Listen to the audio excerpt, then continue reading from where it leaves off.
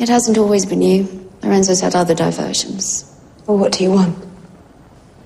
For me to stay away from him? I love him, and I love this city. It's wonderful when big movie makers like David come to television. You know, when Scorsese is doing the pilot for Boardwalk Empire, when David Goyer is creating a brand new television show for Starz It's something very exciting because it's naturally very cinematic. It's normally very big and courageous in style, and and David doesn't shy away from controversy. So he he likes to push boundaries. He likes to make people think, and and with this show, he really wanted to challenge everything that people think they know about Leonardo da Vinci. You are a distraction, that's your function. I will tolerate that, but I will not tolerate you becoming a vulnerability.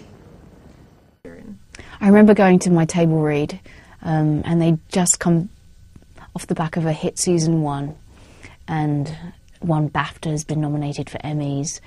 And I went in the room, and you could just kind of smell this very positive, confident, exciting energy. It was, it was, it was infectious. It's what you dream of, really, as, as an actor.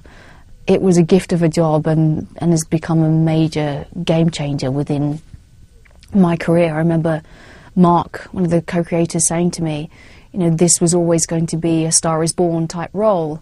And I just said, I'm so glad you didn't tell me that before I shot the, show because the pressure would have been immense. It was just, it was delicious. it was absolutely delicious to shoot.